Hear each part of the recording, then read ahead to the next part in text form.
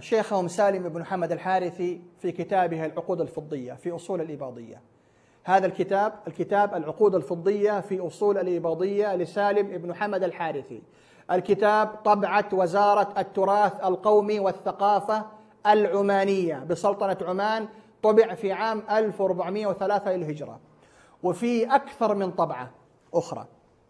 هذا الكتاب قدم له وقرض له أربعة من كبار علماء الإباضية وهم إبراهيم بن سعد العبري مفتي سلطنة عمان السابق وأحمد بن حمد الخليلي مفتي سلطنة عمان الحالي وسالم بن حمود السيابي والقاضي بمحكمة مسقط واحد اسمه محمد بن شامس البطاشي هذا القاضي بالمحكمة الشرعية آه، بمطرح.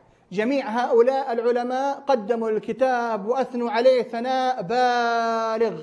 طيب إيش في الكتاب هذا موجود؟ وأكرر أريد من الإباضية العامة العوام بسطاء ولطفاء وفيهم خير كبير أنا أعرف هذا.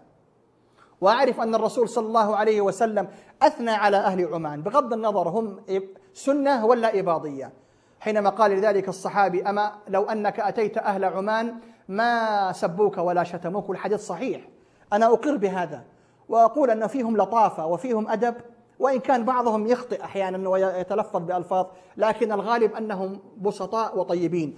أنا أريد من عوام الإباضية أن يعودوا إلى كتاب العقود الفضية في أصول الإباضية لسالم الحارثي حينما تكلم في فصل عبد الله بن إباض وهذا في صفحة 121 وكانت هذه رسالة موجهة من عبد الله بن إباط إلى الخليفة عبد الملك بن مروان. طبعا عبد الله بن إباط هو الرأس الكبيرة والمؤسس للفرقة الإباضية.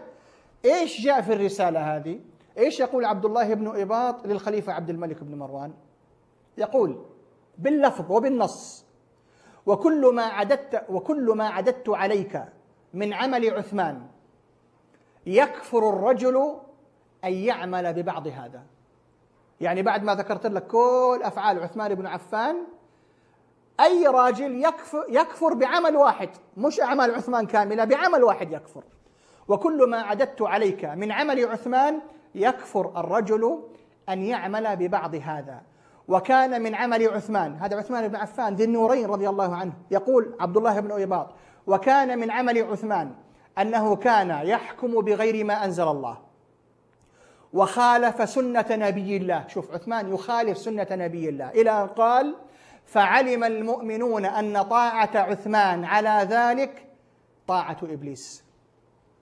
شوف يعني اللي يطيع عثمان كأنه يطيع إبليس. فعلم المؤمنون أن طاعة عثمان على ذلك طاعة إبليس. إلى أن قال فمن يتولى عثمان؟ ومن معه؟ فإنا نشهد الله وملائكته وكتبه ورسله بأن منهم براء ولهم أعداء شوف بأيدينا وألسنتنا وقلوبنا نعيش على ذلك ما عشنا ونموت عليه إذا متنا ونبعث عليه إذا بعثنا نحاسب بذلك عند الله.